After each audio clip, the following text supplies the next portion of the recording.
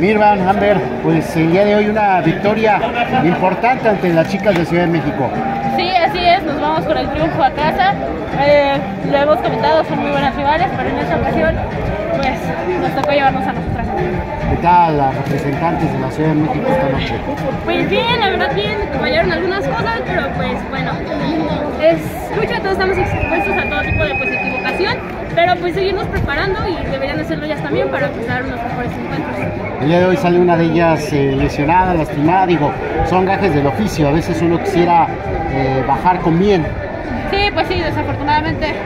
Bueno, a mí me volaron, yo no vi bien cómo cayó, solo escuché, pero pues esperamos esté bien y pues estamos dispuestos siempre a alguna lesión.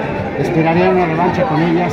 Sí, claro que sí, pues respecto a la lesión, pues un castigo, tenía que ganar y pues como el lugar, profesionalmente obviamente, le hice el castigo, nos llevamos la victoria, que no le podía quedar mal a la gente de la Arena Solís. Hoy el público se les entregó porque inclusive había gritos en contra de las chicas de Ciudad de México. Sí, así es, pero en esta ocasión porque sí sentía el público un poquito más a la mitad, no sé si eran sus familiares, no lo sé, tuvimos ahí también un pequeño roce, pero, pero pues la gente de aquí nos sigue apoyando. Hablando de voces, es precisamente cuando debe hacer conciencia en que el aficionado es únicamente un espectador y no puede tocarlos. Sí, eh, bueno, en ese caso fue a las dos que nos dio un golpe. La verdad, eh, mi hermana que está detrás nada más que es una persona muy explosiva.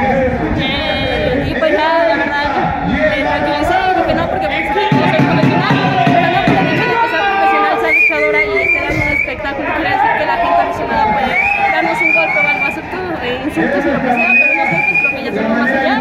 Eh, nos controlamos, en este caso me controlé y es un poco más tranquila, pero pues bueno, mantuvimos el control que es importante, pero sí debería de haber mucha conciencia sobre el respeto aficionado, luchador, luchador aficionado. Finalmente, algo, algo que más quisieran agregar.